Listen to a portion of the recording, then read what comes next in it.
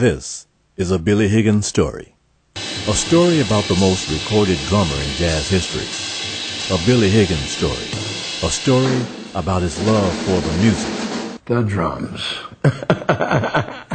the drums was the first instrument I ever played. His love for Leimert Park Village. His love for his family. And here's my daughter. And my grandson. A Billy Higgins story is about the man with the infectious trademark smile. A smile that touched us all. A smile that goes much deeper than the mind's eye can see. From the early days of his rise to fame in the late 1950s as a member of the groundbreaking Ornette Coleman Quartet, Higgins helped take jazz to a new direction. He played on more than 700 recordings during his career. But the greatness that we attribute to Billy Higgins, in addition to his mastery of the drums, comes from his warmth and enveloping spirit and spirituality, and to his dedication to teaching jazz to younger generations. The students began as young as age two. When kids find out that they can do something that's valuable to somebody else, and, and it's fun doing it, that's one of the most greatest things that you could give somebody. Because I watch him over there, you know, they be sleeping. But that's a natural thing. Kids like to play, try to beat on things.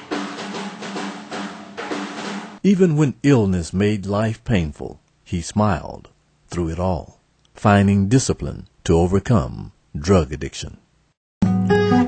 Adios, base tu, tu corazón. I would see Billy Higgins sitting out in front of the world stage, playing a, playing a Spanish uh, guitar. Ana, you are a special light. The fact is, few musicians have ever been loved by both their peers and fans as Billy. The, beautiful thing about Billy to me is that he can walk into a situation, and even before he sits down and plays the drums, he can almost size up everybody who's getting ready to play with him and know exactly what you need to become inspired.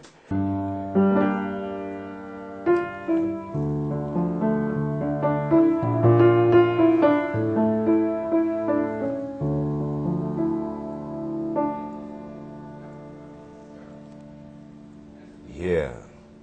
You know, Billy Higgins, he loved Latin music. I used to walk down the boulevard, you know, and he would like be playing some Brazilian bossa novas on the guitar, you know. Then he would grab some kind of Brazilian drum that I ain't never seen before and play all this batucada and everything.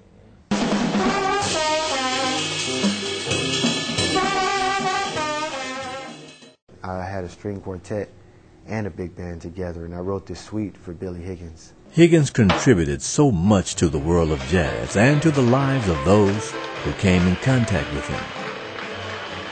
Billy Higgins on music. Sound is what makes you people feel something in music. You know, it's rhythm too, but rhythm is a sound. You know, like you just make it's like turning the faucet on and letting it run, and the music just comes down just like that. See, the music doesn't go on to higher planes without the drums.